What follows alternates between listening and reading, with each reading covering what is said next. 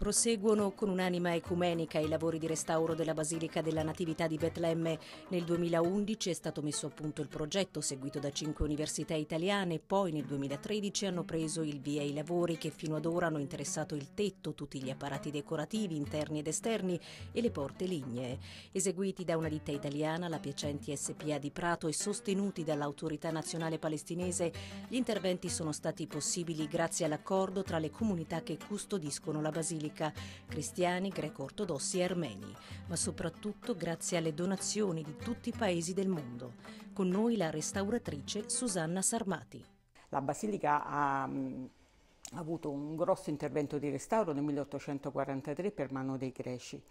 e che ha diciamo, un po' uh, completamente cambiato l'aspetto. Eh, quello che noi abbiamo voluto fare è mantenere comunque l'aspetto di questo grande restauro del 1800 che aveva cambiato i pavimenti, ma i marmi dei pavimenti, aveva ricoperto tutte le pareti di intonaco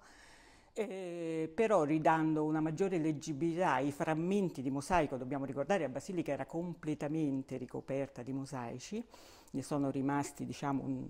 30% se non un 20%,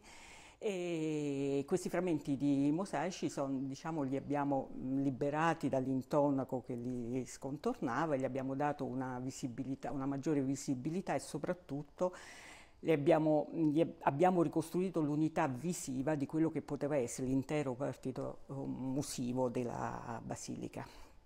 Le difficoltà maggiori nel restauro, che ora interesserà le colonne, i capitelli e alcuni dipinti, sono state incontrate nel consolidamento di tutti gli intonaci e dei mosaici, perché il restauro del 1800 fu soprattutto estetico più che conservativo. Un lavoro attento e scrupoloso, dunque, che ha portato a una scoperta inattesa, a cui ha fatto riferimento anche Papa Francesco, ricevendo lo scorso 16 giugno i partecipanti all'assemblea della riunione delle opere di aiuto per le chiese orientali. Chiaramente tutti questi lavori sono stati preceduti da un'ampia documentazione scientifica, fotografica, grafica e da analisi e sui mosaici soprattutto perché noi sapevamo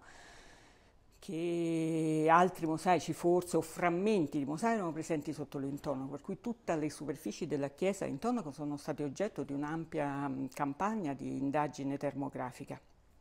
Appunto con questa indagine termografica siamo riusciti a scoprire in varie parti, altri frammenti di intonici, ma soprattutto un angelo intero sulla parete nord fra la quinta e la sesta finestra che probabilmente perché non completo, mancano le, la parte inferiore, la, i capelli e l'aureola, era stato ricoperto nel 1800. Mi è stato riferito che proprio nel corso dei restauri a Betlemme su una parete della navata è venuto alla luce un settimo angelo in mosaico che insieme agli altri sei, forma una sorta di processione verso il luogo che commemora il mistero della nascita del Verbo fatto carne. Questo fatto ci fa pensare che anche il volto delle nostre comunità ecclesiali può essere coperto da incrostrazioni dovute ai diversi problemi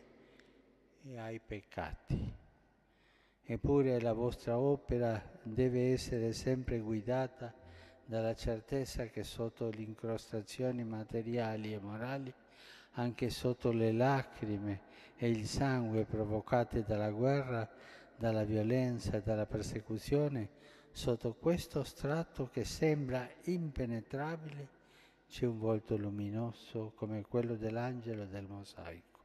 Quello che colpisce di più e colpisce ancora adesso è la cromia di questi mosaici che è veramente incredibile, ci sono dei colori stupendi, eh, abbiamo fatto una piccola tavolozza colori, ci sono mh, 8 gradazioni di blu nelle tessere, 12 di eh, grigi, e cioè ci sono delle cose veramente, mh, e a vederli soprattutto puliti, noi che l'abbiamo invece visti coperti da questa patina di fumo marrone, era veramente impossibile immaginare che c'erano questi colori veramente eh, squillanti, bellissimi.